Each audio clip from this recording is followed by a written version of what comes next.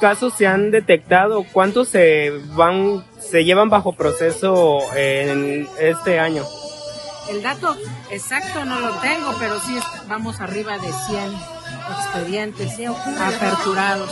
Sí, muchos en los primeros tres meses, muchos fueron casos reincidentes que pues no se les había dado la atención que esperaban y pues de manera, eh, pues, ¿cómo se puede decir? Se acumuló los primeros tres meses. Ahorita sí ha disminuido, disminuido, no como al principio, pero sí se, se mantiene, ¿no? Al día podemos recibir de dos, tres, cuatro este, reportes.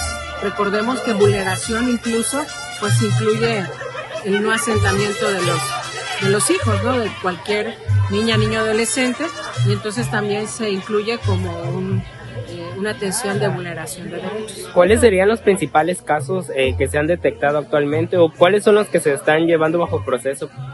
Bueno, eh, en un porcentaje alto puede ser la, el derecho vulnerado a la identidad que es en donde sí estamos teniendo bastante atención, ¿no? Y, pues se les va dando de la mano con eh, el registro civil de, Carmen e irlos eh, regularizando.